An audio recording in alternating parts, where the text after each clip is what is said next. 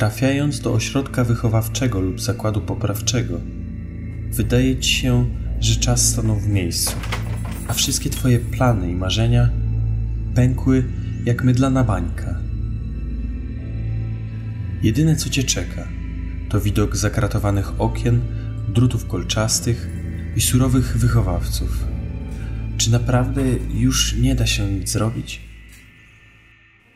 Jako Stowarzyszenie Akademia Sportu Artura Siódmiaka stworzyliśmy projekt Przez Sport do Praworządności, aby udowodnić nie tylko Tobie, ale i wszystkim ludziom, że jeszcze wszystko można naprawić.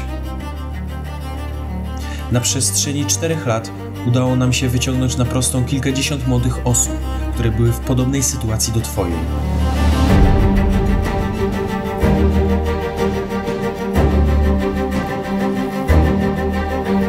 Mając świadomość, jak wielu z Was nigdy nie otrzymało takiego wsparcia ze strony najbliższych, kontynuujemy naszą misję, poszerzając zakres jej działań o kolejne rejony Polski. Naszym priorytetem jest dotrzeć do jak największej liczby takich charakternych osób jak Wy i każdemu z Was dać nadzieję na lepsze jutro. Rok 2022 przywitał wszystkich dramatycznymi wydarzeniami za naszą wschodnią granicą. Mając z tyłu głowy, co się dzieje na Ukrainie, musieliśmy pozostać zmotywowani i skoncentrowani na naszym wspólnym celu. To, co nas napędzało, to postępy i życiowe sukcesy osadzonych, których do tej pory odwiedziliśmy. Kolejne rozmowy, kolejne dramaty.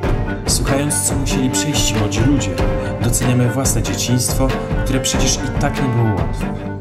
Jak zmotywować zbuntowane głowy, które na bazie tragicznych doświadczeń zbudowały zupełnie inną niż nasza wizję własnego życia? Dając im przykłady ich rówieśników, którzy chwycili naszą pomocną dłoń i dziś wiodą szczęśliwe życie z dala od fatalnej przyszłości. Jedyne co Was ogranicza, to lęk przed zmianą i czas, który trzeba poświęcić na dojście do celu. Ale przecież ten czas i tak upłynie, a to jak go wykorzystacie, zależy tylko od Was. Nas ukształtował sport i to właśnie z jego pomocą chcemy zakorzenić w Was wartości, dzięki którym Wasze życie odwróci się o 180 stopni.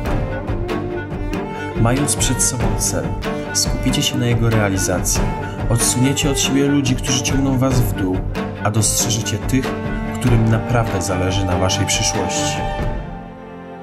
Jest jeszcze wiele młodych ludzi, którzy potrzebują naszego wsparcia, dlatego dalej będziemy przemierzać Polskę, kontynuując nasz projekt.